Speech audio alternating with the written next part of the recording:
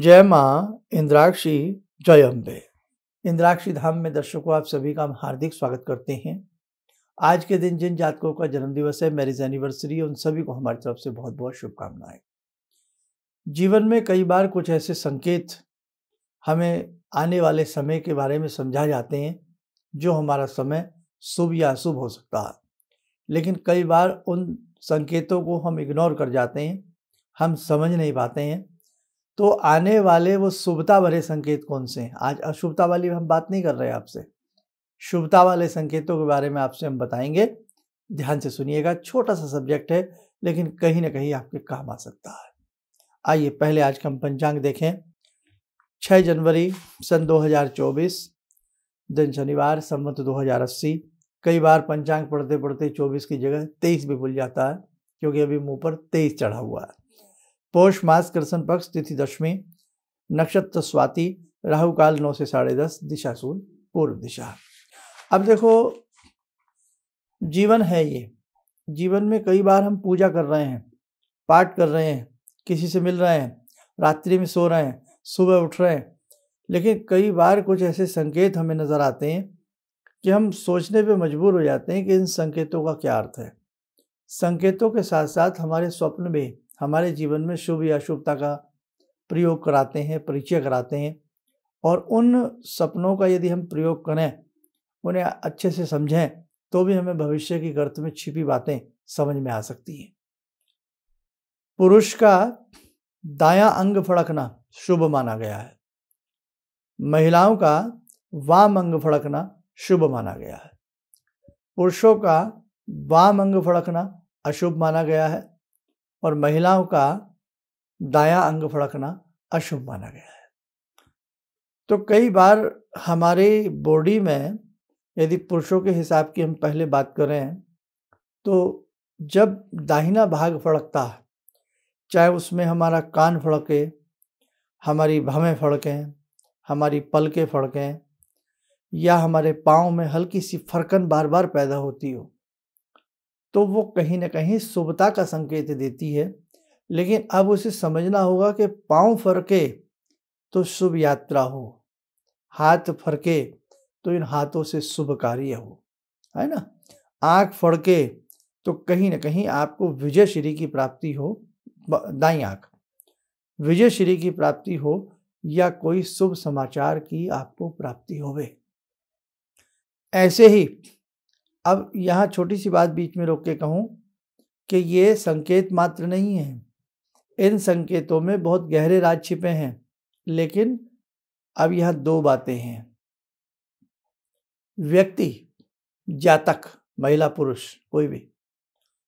जितनी आपकी साधना शुद्धता से होती हो, जितना आप हृदय से स्वच्छ और शुद्ध हो, उतना ही ये संकेत आपके ऊपर अच्छे लागू होते हैं।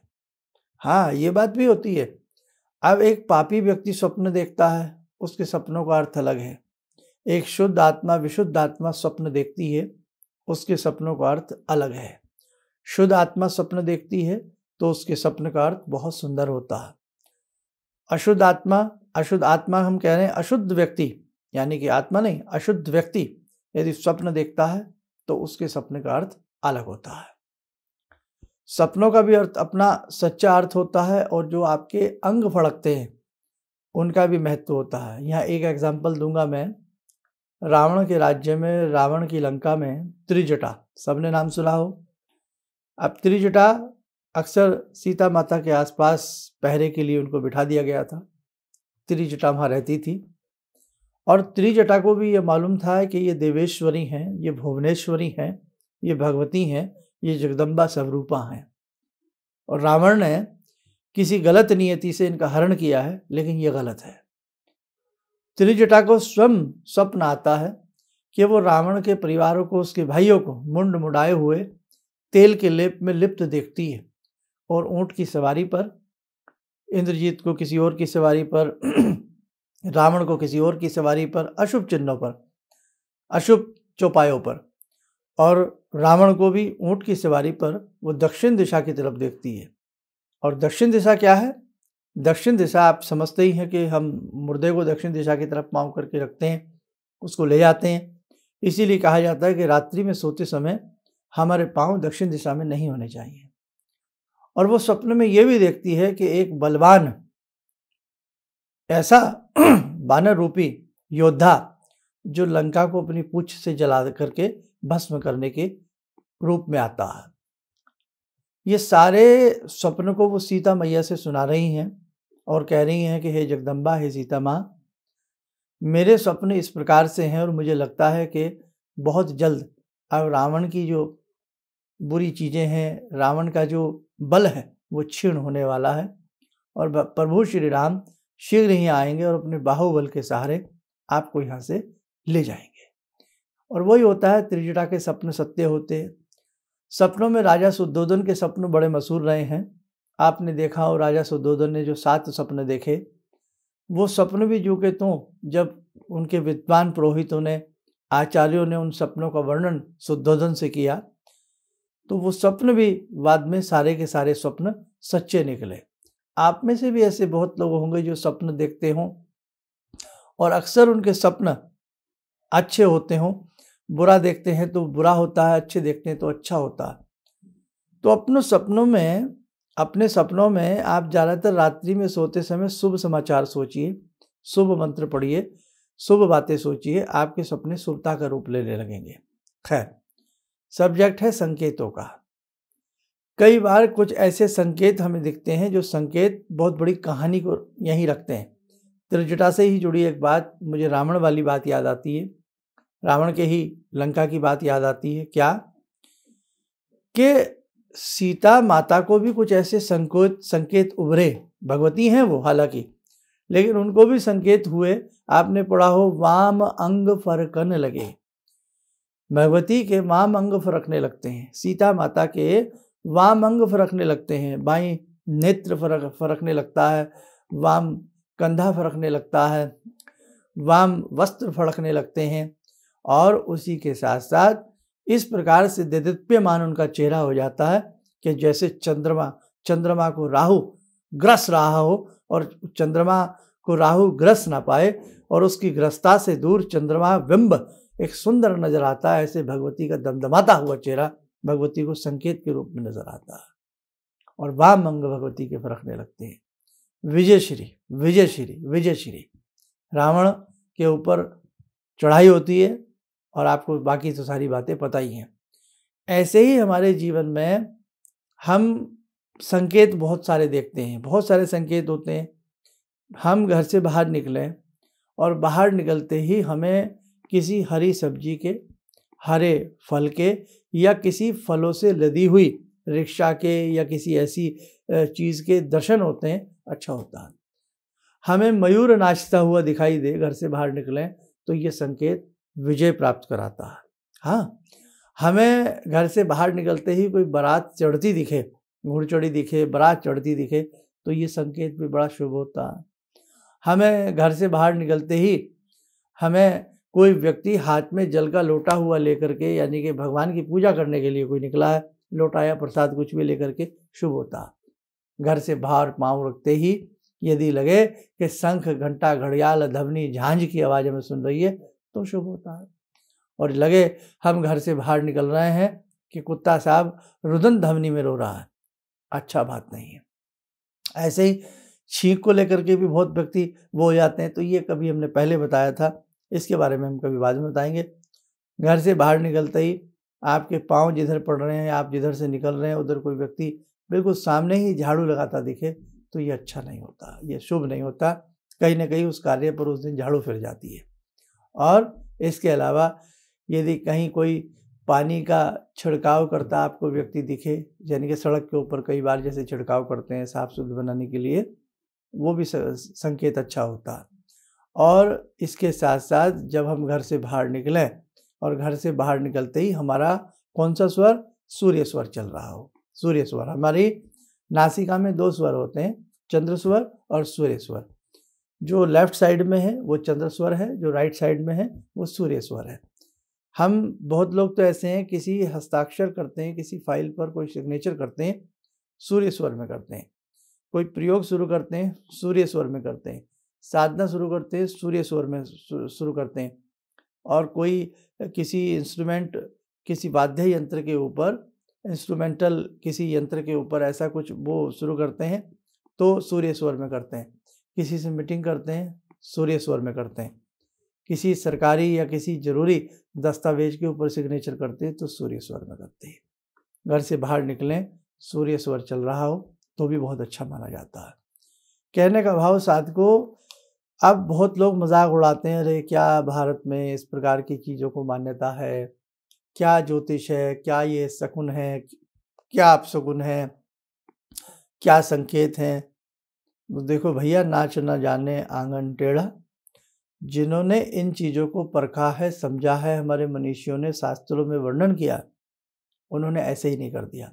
रामायण जी में आप स्पष्ट पढ़ने को मिलता है ना, सीता माता जब गा रही है कि वाम अंग वाम अंग फरकन लगे, मंजुल मंगल मूल।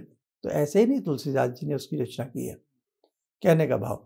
और तुलसीदास जी ने स्वयं ज्योतिष की कई बड़ी गंभीरता को लिया है। उधर नारद नारद जिनके जिनके पास ओरिजिनल नारद पुराण है। तो नारद पुराण में ही महर्षि नारद जी ने सामुद्रिक शास्त्र के अनेकों गूढ़ रहस्यों को बताया है।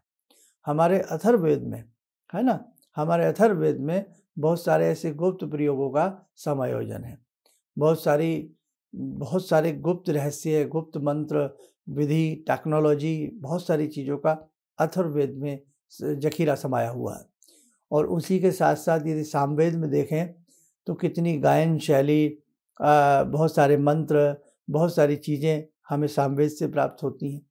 कहने का भाव कि हमारे तो शास्त्रों में, हमारे वेदों में, हमारे पुराणों में उप पुराणों में, उपनिषदों में तो ये बातें कूट कूट करके भरी गई हैं, लेकिन आज उनके मंथन करने की आवश्यकता है, उनके पढ़, पढ़ने की आवश्यकता है उन्हें समझने की आवश्यकता और उन्हें समझाने वालों की भी आवश्यकता है और समझाने वालों के साथ साथ समझने वालों की भी आवश्यकता है।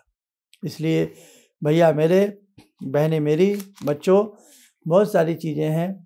हम आपसे रोज़ घर घर आके तो नहीं मिल सकते और अभी हम आपको इंद्राक्षी धाम में भी नहीं बुला पा रहे हैं। हम आपसे प्रैक्टिकली भी नहीं मिल पा रहे हैं। साक्षात नहीं मिल पा रहे हैं।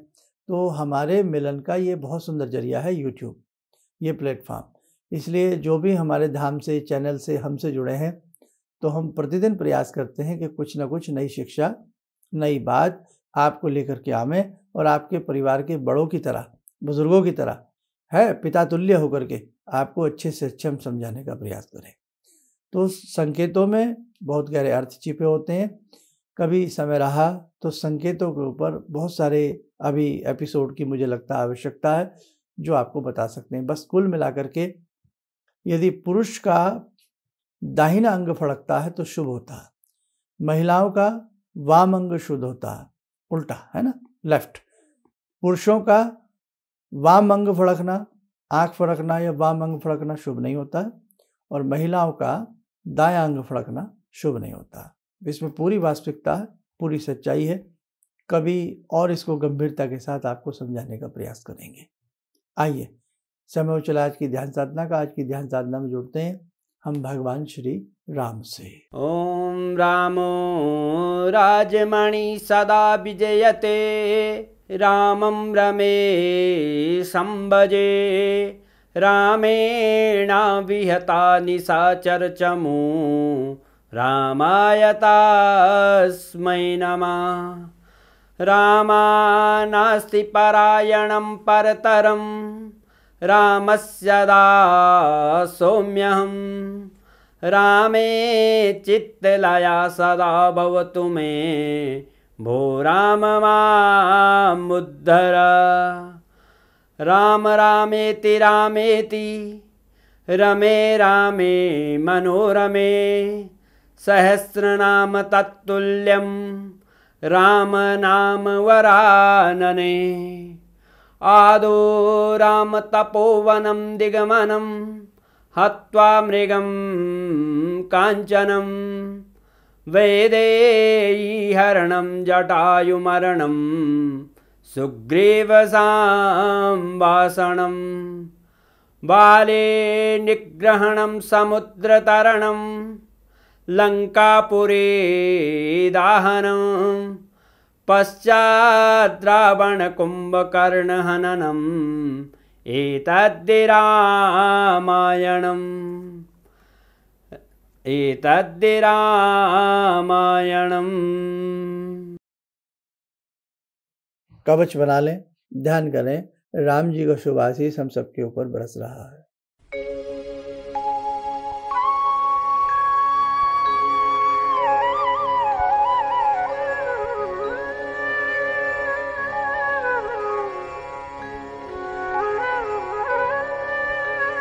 बोलते हुए नेत्र खोलें सामान्य देखो साधको, बहुत सारी चीज़ें हैं जो रोज़ रोज़ आपको समझाने की हैं।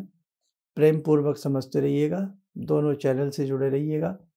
कई बार समय ना मिलने की वजह से फेसबुक प्लेटफॉर्म पर फेसबुक पेज पर कुछ चीज़ें नहीं अपलोड कर पाते हैं। लेकिन दोनों चैनल पर तो हम प्रयास करते ही हैं। तो आप लोग इंद्राक्षी धाम से और हमारे मुख्य चैनल प्रोफेसर धर्मेश शर्मा के नाम से बहुत अच्छे से आप लोग जुड़िए। औरों को भी जोड़ने का प्रयास करिएगा। चलिए, आप स्वस्थ रहें, सुखी रहें, इन्हीं शुभकामनाओं के साथ हम अपनी वाणी को विराम देते हैं। जय जय अम्बे। ज़िंदगी के इस प्रवाह में तमाम लोग डिप्रेशन के इस हालात से गुजर रहे हैं। सफलता, असफलता अपने जगह की बात है। लेकिन पता नहीं किन, कितने सारे लोगों को इन्होंने डिप्रेशन से उबारा है। नया मोटिवेशन दिया है काम का। इनका जो एक अनुभव था कि एक, मेरी बातें इनसे लगातार कभी कभार हो जाया करती हैं। एक दिन मेरी बात हो रही थी, अचानक इन्होंने प्रश्न किया कि क्या आपके यहाँ कौए आ रहे हैं? मैं बहुत तेज चौंका। करीब चार पाँच दिनों से कौओं का झुंड मेरे घर पे मंड रहा था। तो मैं यही सोचने परेशान था, ये शुभ है, अशुभ है, क्या चीज़ है? तो इनसे, मैंने प्रश्न किया कि क्या मैंने आपको बताया कि मेरे घर में कौए आ रहे हैं? कहने, नहीं, मुझको दिखाई पड़ रहा है। तो कुछ तो अलौकिक है इनमें। दूसरा क्या है, जो इनका उद्देश्य है। जब महाकुंभ में आए थे, मेरी इनसे वार्ता हुई तो मैंने इनका उद्देश्य जानना चाहा कि किस उद्देश्य के लिए आप काम कर रहे हैं। तो जो उद्देश्य उन्होंने मुझको बताया, मैं मन से इनके उद्देश्य के साथ जुड़ गया। इनके साथ तो जुड़ा था ही, अब इनके उद्देश्य के साथ भी हूँ मैं। किसी भी समस्या के समाधान के लिए मिले प्रसिद्ध हस्तरेखा एवं वास्तु विशेषज्ञ प्रोफेसर धर्मेंद्र शर्मा जी से।